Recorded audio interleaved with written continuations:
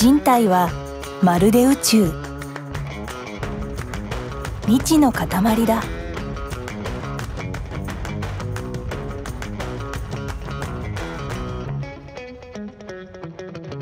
私たちは自分たちのことを知らない。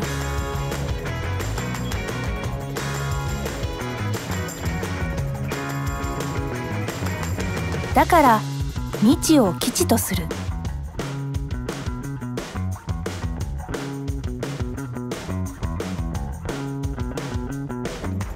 臨床で生じた疑問を科学的に可視化したい。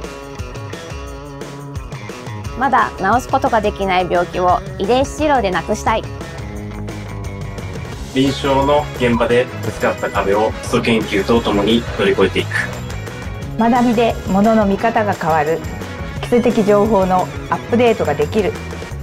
私たちは未だ知らないことがあるのを知っている